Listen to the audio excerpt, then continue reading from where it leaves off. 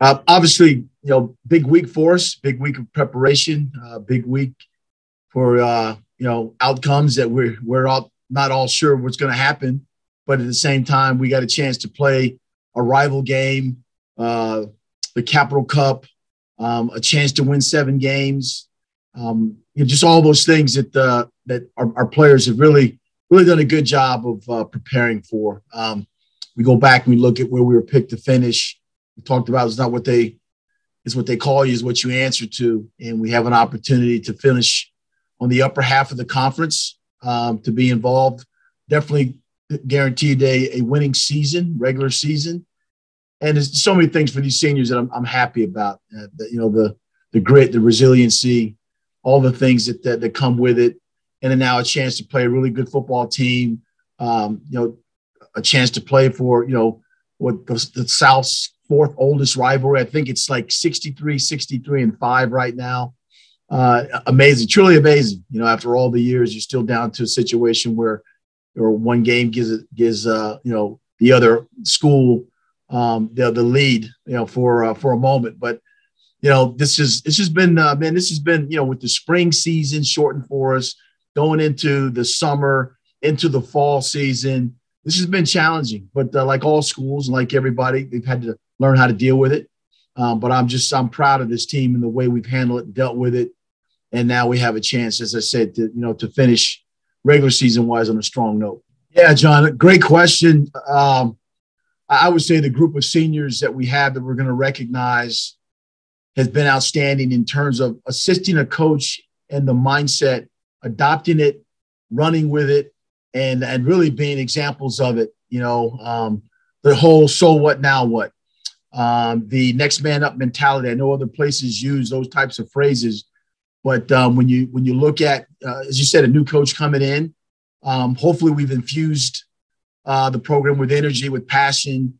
Um, you know, we, we're, we're going to try to keep recruiting, you know, uh, young men that can do well in the classroom, on the field, in the community, um, to have the buy-in that the, that the players have had, uh, our coaches that have been significant in terms of who they are as well to influence the players, uh, the leadership, you know, the leadership change.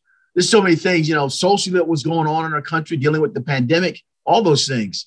And to have a group of seniors, I think there will be about close to 20 plus that are going to be recognized in walking. To have those guys embrace a coach, a philosophy, uh, and and also be run with it and run with it is uh, has been truly uh, truly thankful. You know, as, as a head coach, we're always thankful for the players that buy in because that's how things happen. Is you can come in with a strong message, the players have to buy in and demonstrate it themselves, and this has been one one fantastic group of individuals that uh, that, that, that wanted to make uh, make a statement and have an opportunity to uh, you know as we as we said at least finish with a winning record, but also have a chance to still do some significant things. Um, you know, in terms of playing your last game, the the Capital Cup, and whatever happens after that. So uh, I've been I've been very thankful as a leader with the people that have been surrounding me not only coaches but these players, the seniors that you talk about, John. Well, all of us are are significant in terms of who we have that are playing for us. Uh, we talk about next man up mentality. Yes, that's that's true. But when you have a talented player like Joe Mancuso who's missed games and then he's back, then that helps. It helps a lot, you know. And then you're allowed to improve as the season goes on. It's expected that you improve as the season goes on that you play closer games, that the closer games somehow you find a way to win them. Um, you know, all of us are, are experiencing those types of things, but uh, you know, they're they're a good team that uh, have players in talented positions. You know, on the edge, defensively rushing, inside the linebackers.